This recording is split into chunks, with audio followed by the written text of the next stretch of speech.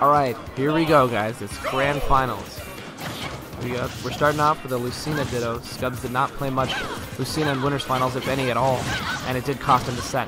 The first set Saskatchewan has ever taken off him in this game.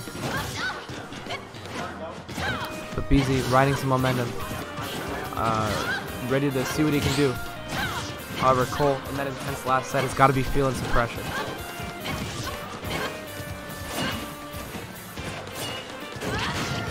Ooh, and a quick F smash from uh, from Scubbss is going to take that first stock.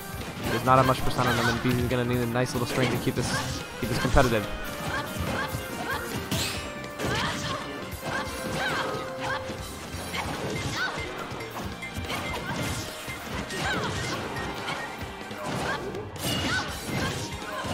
That back air going to quickly take it without much advantage.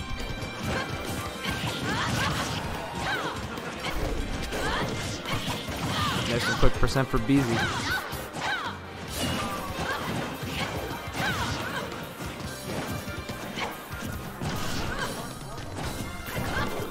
Carter's got to get down from that platform.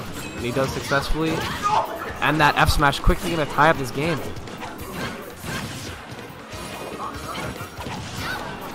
Any tiny little piece of advantage is really going to mean everything. For example, that down air. Now it's about how Cole can manage this stock before he loses it. It's going to dictate.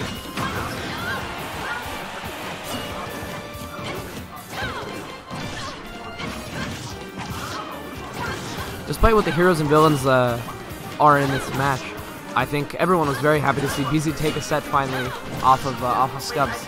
That's that's big for all of Saskatchewan. You know, and that F smash is going to put this uh, game at one stock apiece, but Beezy's got some percent. He's going to need a nice string, and two up tilts is a nice way to start it.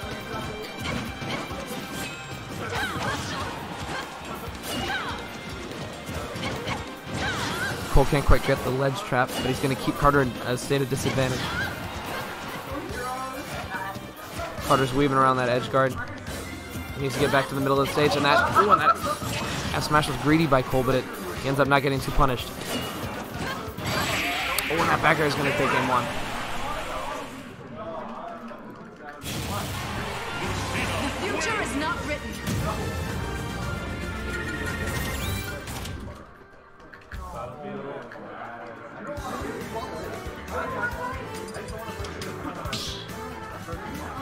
FD is going to be the next stage you're going to go to. Um, I think that game was a lot about Cole keeping advantage of the entire entire game and really not letting not letting Beezy uh, ever take control. And Beezy did say that if he got rocked, he was to go gonna go wolf. I wouldn't really call that him getting wiped, but I do appreciate this counter pick to change it up a little bit. I know this certainly works very well for Carter in doubles against this Lucina, so I'm excited to see what's to happen. and instantly Beezy takes a good amount of advantage. He's keeping a Lucina out. Interesting. He's getting in.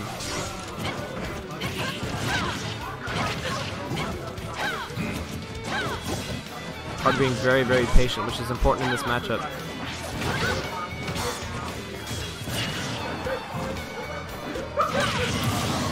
Mm. And a little flub there. Uh, Cole capitalized on he took the first stock. That down smash will quickly, quickly get rid of Cole's first stock. Just shows the end of the day, spam if you want to win. Alright, that's a very good parry. It's going to pay off. Kalen's in the back cheering. He loves this wolf. He loves this wolf.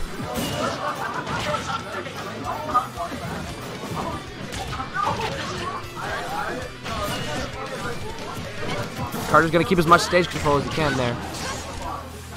Now he's the one keeping Cole in a state of disadvantage.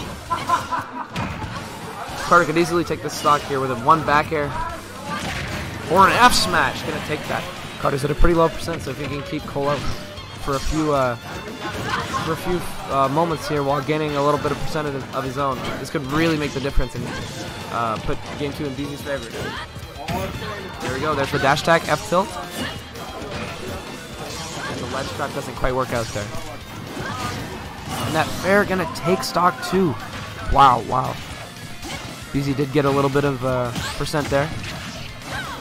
And with all of these parries, these immaculate parries, it's really hard for Cole to play offensively on, on Carter's shield.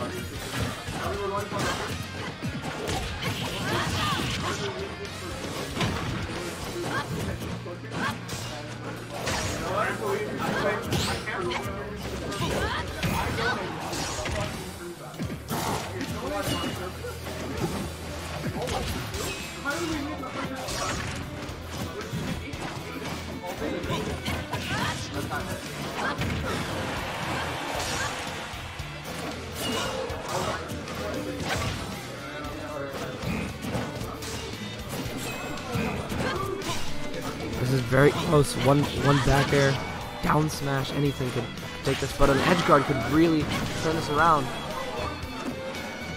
Ooh, and that's a good air dodge by Beezy. Ooh, that up tilt could have taken it. He's got to get out, out of the corner here. And advancing that up tilt will take game two for Beezy. well, no fair, it's been real.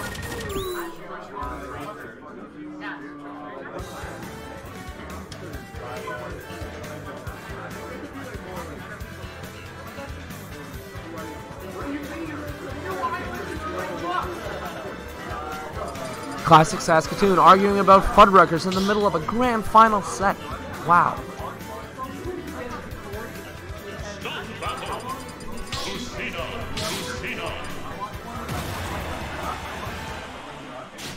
Here we go, game three.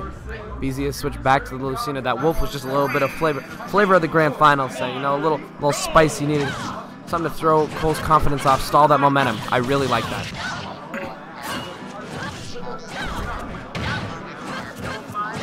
Nice weight, but it doesn't quite pay off. They're just going hit for hit, nickel and diming each other. Constantly going back and forth, not letting anyone capitalize on an opportunity. Two top players who have played each other so, so many times. Just working and working for each single hit.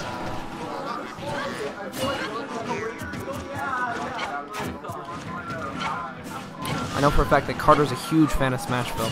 I don't know how Cole reacts to this stage, but we do know that he usually wins. Ooh. And Beezy will punish. See if he can take that first stock right here. No, not quite. Cole's got some rage. F Smash will definitely take it here. Especially on that side of the stage. Beezy makes it back. Doesn't go for an edge guard. See what he can do for a ledge trap here. And that fair will take first stock. Alrighty, thank you, Benham. I appreciate it. Alright, let's see.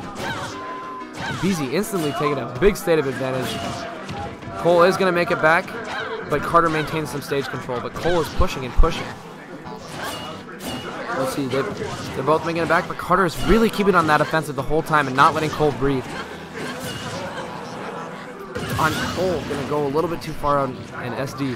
Carter still on his third stock at 144%. Let's see if he can capitalize on that string. That up air not gonna do it. But Beezy is gonna make it back to stage. That back air will take stock one. Beezy's got a lot of room to work with here. Now it's his turn to play patient. There you go. Cole having to play a very, very defensive game here, and that S smash, beautiful roll read. Uh, Beezy goes for a big down air. He's up the stock, I understand. Oh, and another F smash. Not going to take it quite yet, but Cole used an air dodge. Good tech by Beezy. Great recovery. Wow, wow. Cole's got some control here. Got to grab, see if he can capitalize. The Beezy plays a very offensive role, straight out of hit stun. And that F tilt almost taking it. He didn't get the spike, see if he can get the ledge trap.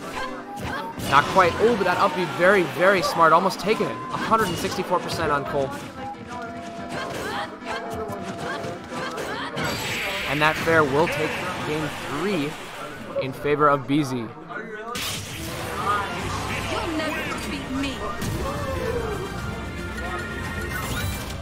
Uh, Paul, I'm sorry to inform you that Beezy might have snapped. Going into game four, Cole seems like he wants to go battlefield.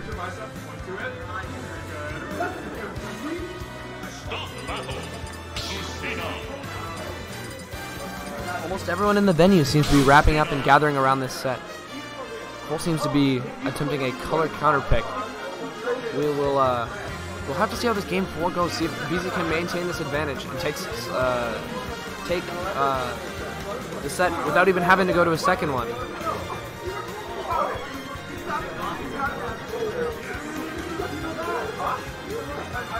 Beezy looking fairly confident between games here. Taking time to think about what he needs to do and just relax. He played very, very aggressive that third game, and I think it really paid off for him. Takes a quick stand and a sit down. All right, here we go. Beginning game four, Battlefield. Instantly, Cole goes. They go for the same option. Carter gets punished. It looks like Beezy's already in a nice state of advantage. Cole looks like he's going to take his turn at playing that aggressive game. Carter gets down from the platform very easily. You do see Cole getting a lot more grabs though in this set. Uh, Carter definitely believes that Lucina does not have much off of a grab after 40%, so he doesn't really go for them much. And another F smash from Cole. It's gonna make it hard for uh, for Carter to maintain it. They do a lot of damage, not just knockback, baby.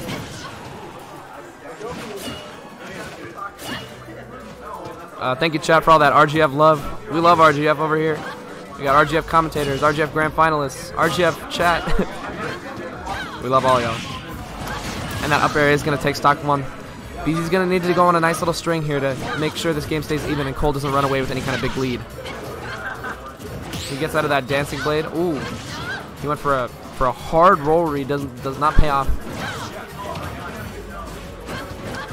It's uh 2-1 for Carter. Yeah, for Carter.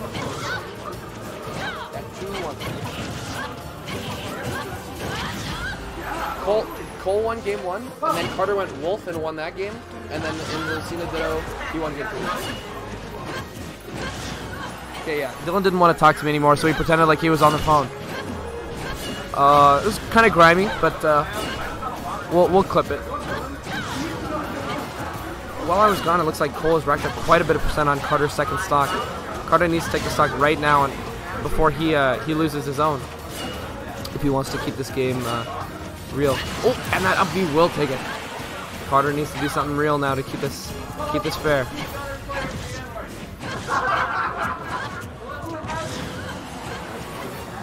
All right, Carter's deep down off stage, but he's gonna make it back and avoid the ledge trap.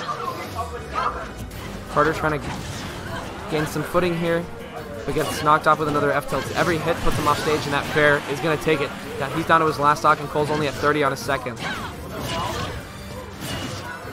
Carter misses attack, pretty rare, but doesn't happen. Oh, and there, there's a shield break. He, he won't die because he's at 30. Oh, and a counter out of panic there. Doesn't pay off, but uh, does not get nearly as much as he might have wanted to off that uh, shield break. Carter's playing in quite a state of advantage, but gets uh, gets pushed off the ledge trap. Ooh, and that deep, deep back air is gonna gonna make this a very, very even game. Let's see, let's see what Beezy can do to uh, close the gap a little bit here.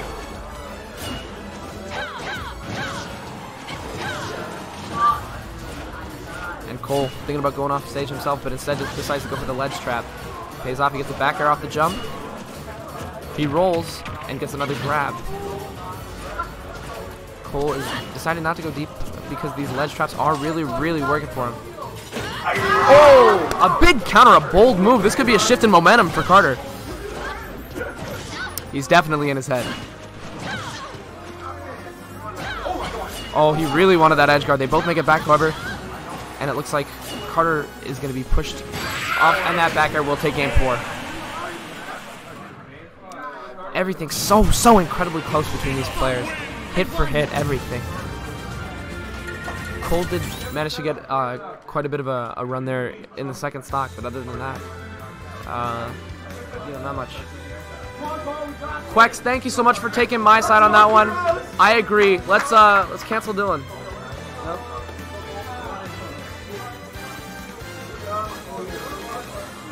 Nearly everyone in the venue, except for maybe North Battleford, has decided to come and watch Grand Finals Classic. Am I right? Cole is leaving for water again. This could be a tactic to, to ice him out a little bit.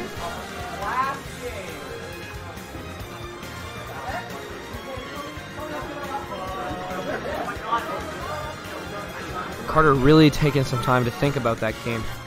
It really could have gone either way, but when Cole got that lead, he's just incredibly uh, good at keeping that advantage state and, uh, you know, not letting Carter overtake him and take that lead.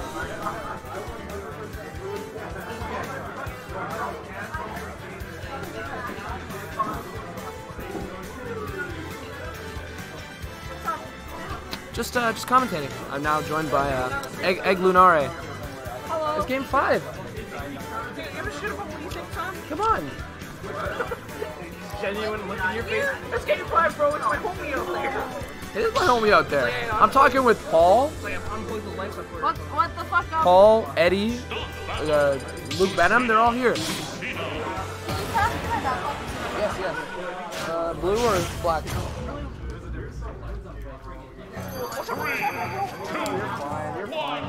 This is why you don't touch him so he'll stop, because he loses, he flips his whole fucking, He'll cry about it. Moderation. Moderation. Alrighty, here we go. Game five. This seems to be very, very intense.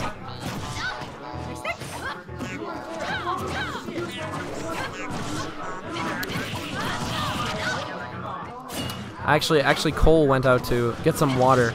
Uh, but I think, uh, I think it was good to stall that momentum. I think that's just something Cole needed to do. But it was a lucky break for Carter. Uh, let's see if Beezy can get a ledge trap here. No, he goes for a, a, a bit of a silly fair on a jump read and gets punished.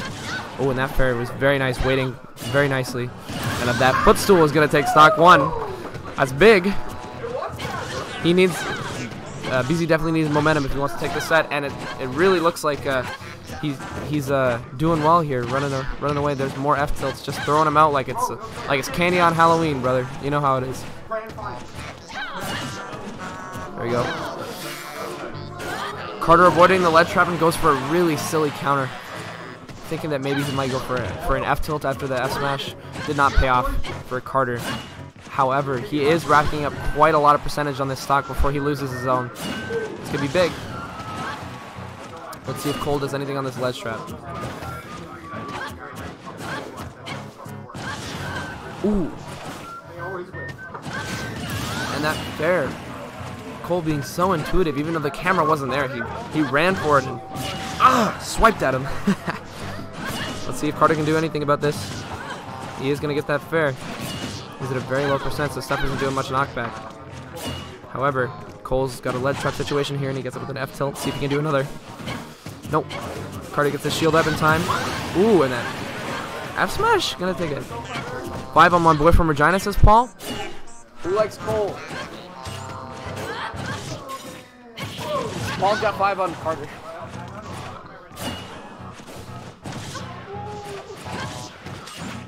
Ooh. Goes for something a little bit sassy there. That down air F smash is going to put him in quite a good situation, though. Carter is too smart. You're right. Beezy not going to get the ledge trap, but this still looks to be in a great position of advantage for Carter. He's not going to get the edge guard. Oh, he is.